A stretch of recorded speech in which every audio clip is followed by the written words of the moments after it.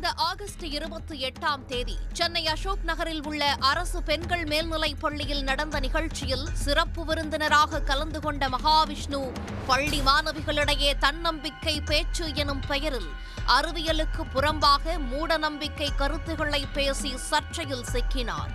அவரை கைது செய்த போலீசார் மூன்று நாட் காவலில் எடுத்து விசாரித்தனர். அவினாசியில் உள்ள மகாவிஷ்ணுவின் பரம்பொருள் அறக்கட்டளைக்கு நேரடியாக அழைத்துச் சென்றும் விசாரித்தனர். மேலும் சம்பவம் நடந்த பள்ளிக்கூடம் உள்ளிட்ட சில இடங்களுக்கும் அழைத்துச் சென்று விசாரித்தனர். போலீஸ் விசாரணையில் பல்வேறு தகவல்களை மகாவிஷ்ணு கூறியதாக தகவல் வெளியாகியுள்ளது.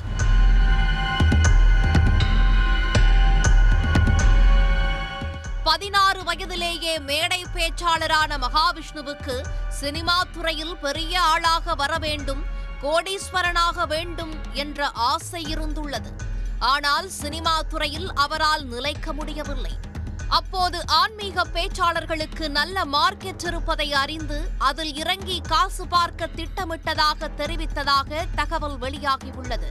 அதனைத் தொடர்ந்து எழும்பூரைச் சேர்ந்த ஒரு ஆன்மீக முதியவரிடம் ஆன்மீகம் தொடர்பான தகவல்களை கேட்டு அறிந்ததாகவும் ஆன்மீகத்தை எப்படி மார்க்கெட்டிங் செய்வது என்பதை வேறு ஒரு நபரிடமும் கற்றுத்தறிந்துள்ளார் சிறுவயதிலேயே இவ்வளவு ஞானமா என கேட்பவர்கள் மெய்மறந்து வியக்கும் அளவுக்கு கட்டுக்கதைகளை அள்ளி விடுவது கண்கட்டி வித்தை காட்டுவது போன்ற வேலைகளில் ஈடுபட்டு பணம் கறந்துள்ளார்.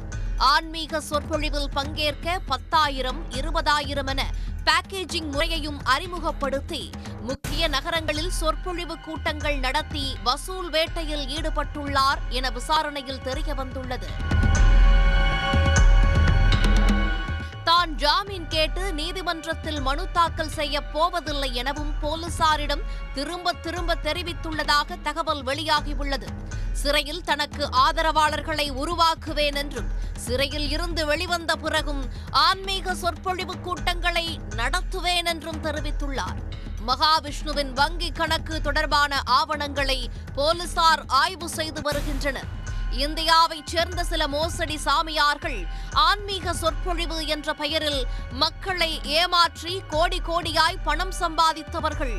ஆஸ்திரேலியா இந்தோனேஷியா கரீபியன் கடற்பகுதி அருகில் உள்ள தீவுகளை விலைக்கு வாங்கியிருப்பதாக கூறப்படுவதுண்டு. அந்த வகையில் மோசடி செய்து சம்பாதித்த பணத்தில் ஆஸ்திரேலியா அருகே ஏதாவது தீவு வாங்கி வைத்துள்ளாரா எனவும் விசாரணை நடைபெறுகிறது. உடனுக்குடன் செய்திகளை தெரிந்து கொள்ள சன் நியூஸ் பெல் கிளிக் பண்ணுங்க.